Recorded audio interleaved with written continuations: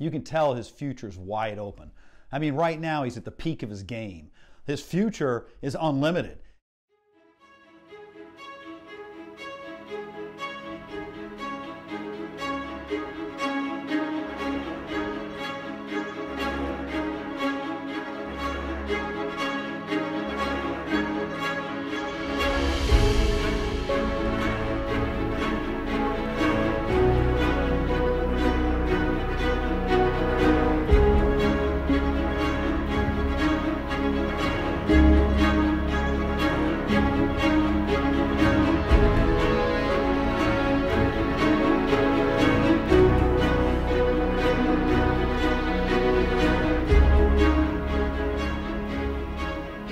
And still wasting my time.